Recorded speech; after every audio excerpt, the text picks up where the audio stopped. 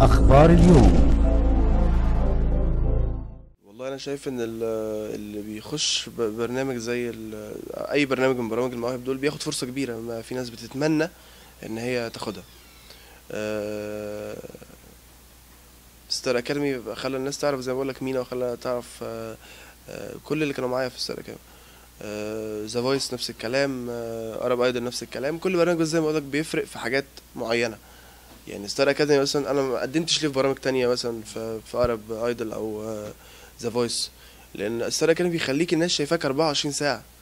جوانب الشخصية بتاعت بالظبط. الفنان كله على بعضه بقى هل مينا ده ينفع يبقى فنان أو لأ؟ فاهمني؟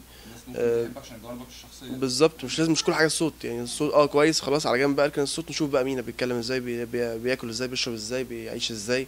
ينفع يبقى فنان أو ما ينفعش. البرامج التانية ممكن تلاقي الصوت قوي جدا بس ما بيعرفش يتكلم كلمتين على بعض. والعكس. ممكن تلاقي واحد كاريزمته حلوة قوي بس صوته مش حلو. وده حصل في كتير من كل ده بعد بعد توفيق ربنا يعني المفروض إن البني آدم بيعتمد على نفسه بقى. بيعمل أغاني لنفسه ب...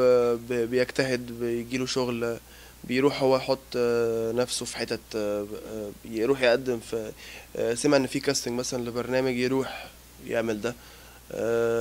يروح مثلا لملحنين جداد أو ملحنين ليهم تاريخ يقعد يتكلم معاهم. ما هو لازم يسعى.